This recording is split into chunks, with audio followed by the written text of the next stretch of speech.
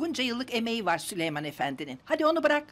Babamın, dedemin hatırı var Adnan. Nasıl izin verirsin gitmelerine? Gitmelerini ben istemedim. Şahiste Hanım'la bu evde evlendiler. Cemile bu evde doğdu. Beş dakikaya kadar iniyorlar aşağı. Ben bir aşağı bakayım.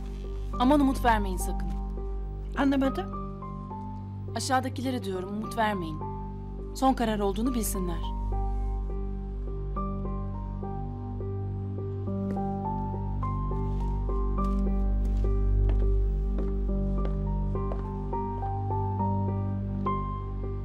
Yanlış bir şey mi dedim? Karar verilmedi mi? Müsaade ederseniz biz de Hadi fırsat bu fırsat siz de koşun mutfağa matmazel. Bülent'le piyano çalışacağımızı söyleyecektim. Hı. İzninizle.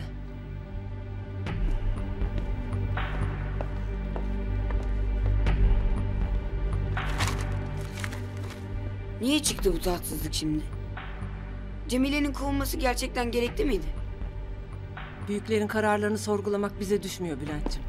Ama onlar Süleyman amcalar.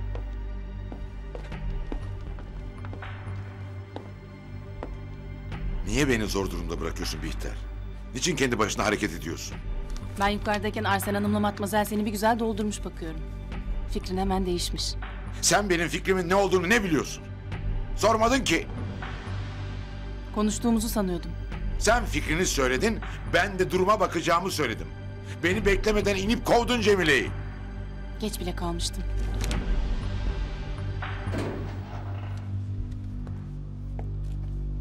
Buyurun efendim. Ne arzu etmiştiniz? Dolaşıyorum. Sen işine bakabilirsin. Baş üstüne.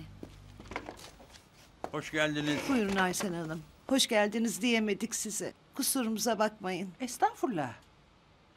Sen niye gitmedin hala hastaneye? Şimdi gidiyorum. Görüşmek üzere. Hadi hayırlı haberlerle gel evlatçım. Ben size bir kahve yapayım. İçerim.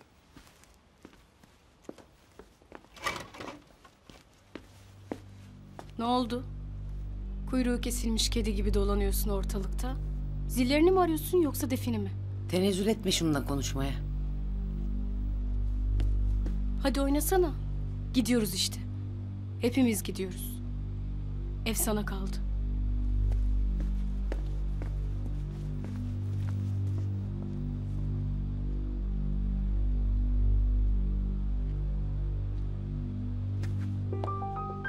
Cemile'yi desteklemiyorum ama iki hizmetçinin dalaşmasına biz niye karışıyoruz?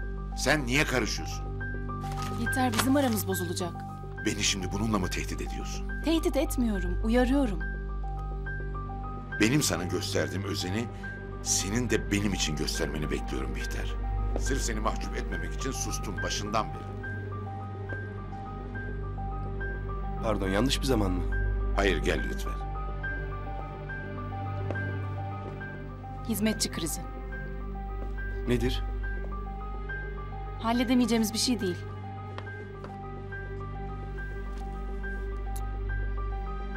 Kapatalım bu konuyu ne olur.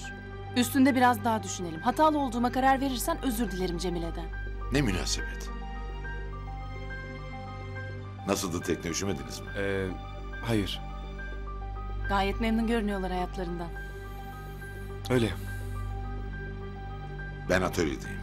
Tamam canım. Gelirim ben de yanına.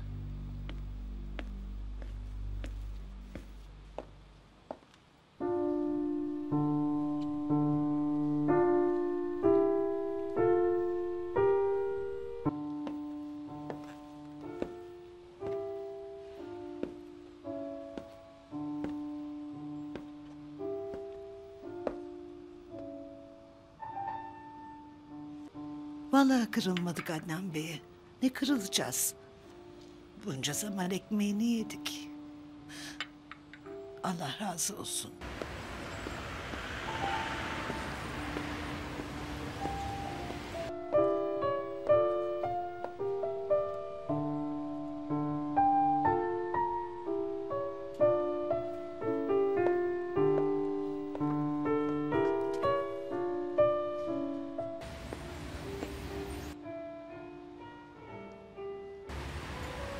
Biz zaten emekliliği düşünüyorduk da.